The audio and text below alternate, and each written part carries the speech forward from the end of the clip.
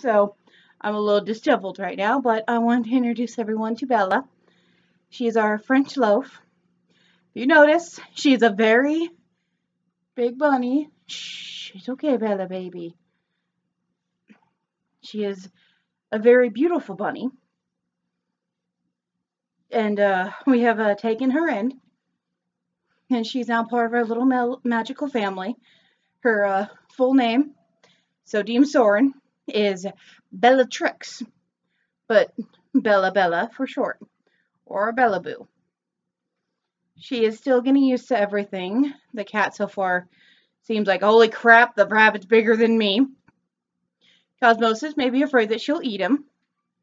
And as you can see, she is a very big bunny. and yes, this is a normal thing for a French lop. They do have a big little poof there. Big floppy ears. She's my little black and white baby. So far, she's a cuddler, a sweetheart when you get her calmed down. And uh, she enjoys the normal stuff that most rabbits do, including uh, carrots and lettuce. And so far, she enjoys hopping around the house and giving little love bites. As you can see, familiars come in very big sizes, including dogs. Unfortunately, her um, old owner had to give her up because, and she's about two years old on the first Sunday of April, two years ago, obviously. So Easter or Ostara of what I'm used to the first Sunday of April being. So she is a big girl and uh, she is going to be two, so she's a little bit younger than Cosmosis, but not by much. So she is uh, our newest one, and we'll soon be taken to the vet to get her nails trimmed. She squeaks when she wants attention or makes sad noises. She's very vocal. She thumps her foot when she's out of something and she wants something. And uh, when she wants picked up and attention, she will squeak until we do that. So Soren had to uh, pet her this morning to calm her down from her squeaking of, I want out of my cage, play with me, at 3 a.m. while we were getting ready for work. My hair's a little disheveled because I kind of had to catch her because she was running around the house. She uh, has yet to chew on anything, so she's a good girl. She loves her salt lick. She uh, seems to be getting along with Persephone. Even though Persephone is still unsure. But uh, so far, no hissing, no smacking, no no fights. Um, we'll slowly be introducing her to Cosmosis.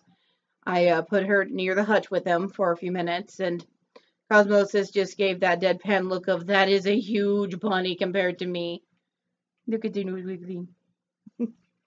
but, uh, It's always fun to add to the family, and I wanted to introduce everybody to Bella because I said I would, and I did kind of post pictures of her on uh, oh Facebook and on uh, oh what's up? Oh yeah, Twitter. And before you ask, yes, her pellets are bigger than the little bunnies. She won't be as much maintenance as him, but she's enough maintenance. And it shall be fun uh, doing things with her and getting harnesses. So expect videos of her hopping around in a harness outside.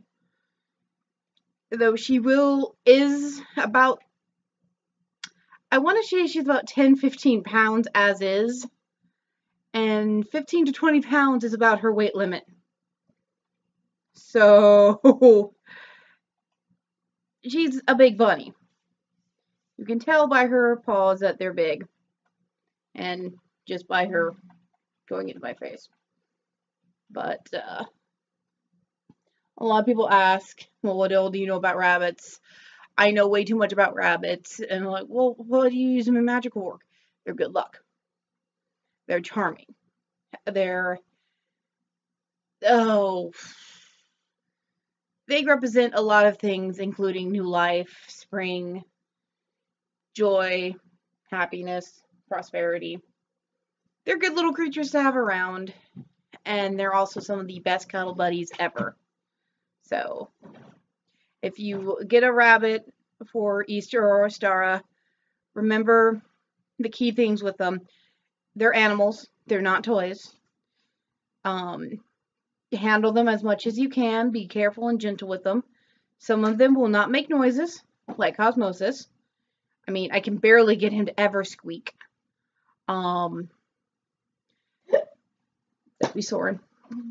Uh, they love rabbit pellets. They love carrots. Sometimes they love fruits. Read up on what they can and cannot eat. Um, iceberg lettuce is nothing but empty calories and water. So get them stuff like romaine and spinach and stuff like that. They love that. Um, a, cage or a, a small cage normally is good for them for a while and then go to a bigger one. Bella has quite a big one where Cosmosis has his hutch right now. If you get an older bunny and then you get a baby bunny, take time introducing them to each other by putting them in animal carriers where they can investigate each other by sniffing them each other through the gate. Oh, baby. Where they can investigate each other, which what we'll be doing with Bella and Cosmosis. Um, because he has his carrier and we can put her in uh, Persephone's because she's big enough for that. Um, and with the fact that they're both adult bunnies, it'll take a while. If you get two that are opposite genders, make sure you get one of them fixed. Because unless you want a bunch of little baby bunnies within a month, because her gestation period of babies is less than a month and then she pops them out. Yeah. Bunnies breed fast. So it'd be a good idea to have one of them fixed which unfortunately for Cosmosis, because he's male and it's easier to neuter than it is to spay a bunny. Feel sorry for him. But with that, they still need the slow introduction to each other. Some rabbits will like taking baths, some will not. Um, they like snackies. They love uh huh. She's cheatering. Um, they like wood chips over the uh, uh, the uh, cotton stuff because most are there. You can either get them from breeders or you can get them from uh, pet stores, which is what we got Cosmosis from and what she was from. If you notice their toes or the claws are going sideways, it's because they're walking on hard surfaces. It's perfectly normal. They're fine. It's nothing bad. It's nothing bad for their health. Just remember to keep them trimmed because these uh, little uh, claws of theirs can do damage. I mean, my hand kind of was already a little scratched up from her earlier yesterday when she was a little spooked. But they are some of the best worthy pets to get. They're great for apartments because they're considered a cage animal. So they fall under you do not need a pet rent for them. But it is an active thing. You do have to brush them. You do have to bathe them on occasion. You do have to clean out their cage or their hutch at least uh, every two, three days, if not at least twice a week. Because they do poop normally they don't smell, but if you have cedar or pine chips in there, which is one of the best things for them, you will get the smell of wet wood. So it often or do a mix of the wood and the uh, cotton stuff to absorb it. And that helps too. It cuts down on the smell. They're not they're not play toys. They're fragile creatures. They're beautiful creatures. They're amazing to have. And some people are like, yeah, they taste great in soup. Yeah, but these are pets, not dinner. And they're also not an item in an Easter basket. And they're not just another little item for an Easter basket, like Soren said. or for an Ostara gift. They're a living creature that needs love, support, and cuddles just like a cat or a dog. So think before you buy a rabbit for your kids. Think about the obligation you're getting into because it's like anything else. It's like having a puppy, except for less jumping all over you. Um,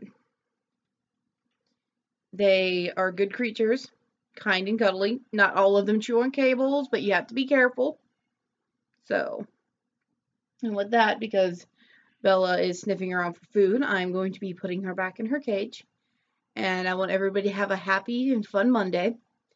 And uh, enjoy yourself, love each other, and uh, blessed be. Bye bye, Bella.